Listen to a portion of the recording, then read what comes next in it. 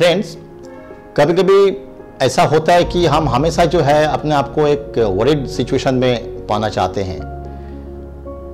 कोई भी चीज़ में जो है सेटिस्फेक्शन हमको नहीं मिलता है। अगर एग्ज़ाम में मार्क्स कम हो गया, तब भी हो रही अगर स्टेशन पहुँचने से लेट हो गया, तब भी हो रही अगर बिज़नेस में थोड़ा सा अप डाउन हो गया, तब भी हो हो जाते हैं।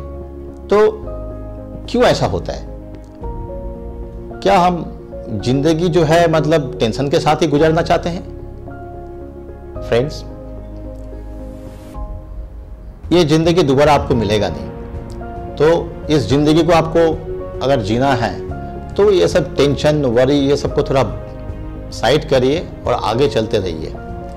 एक ब्यूटीफुल स्लाइड मैं आपके साथ शेयर करने वाला हूँ। अगर इस चीज़ को आप याद रखें तो आज के बाद कभी जो है, ऐसा परिस्थिति में आपको आना नहीं पड़ेगा। एक सवाल मैं आपसे करना चाहता हूँ। Do you have a problem in your life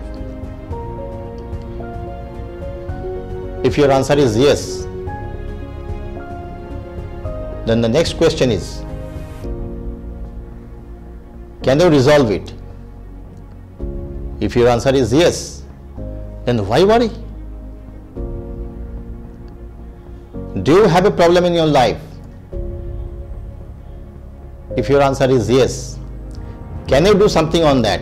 If your answer is no, then why worry? जो स्थिति हमारे हाथ में नहीं है, उसके लिए हम क्यों इतना चिंतित होते हैं? फ्रेंड्स आप अपना मनस्थिति को चेंज करिए, परिस्थिति अपने आप बदलेगा। जो आपके कंट्रोल में नहीं है, कल जो निकल गया आपके हाथ से उसके बारे में सोच के अपना बाकी ज़िंदगी को खराब करके क्या फ़ायदा? आज का जो पल है, इस पल को आप जिए और आनंद के साथ आप जिए तो आपका लाइफ जो है सेटिस्फाइड होगा।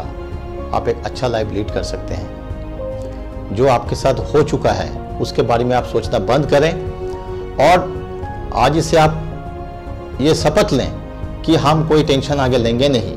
I will never be worried again तो आपको ये सिचुएशन आपके पास कभी आने वाला नहीं होगा तो फ्रेंड्स ये जो स्लाइड्स है इसको आप अपना दिमाग में उतर लीजिए और ये स्लाइड जो है आपको एक अच्छा ज़िंदगी देने में मदद करेगा thank you friends thank you very much for watching my video program. Please share it with your all friends and relatives so that they can also get the, get the benefit of this session.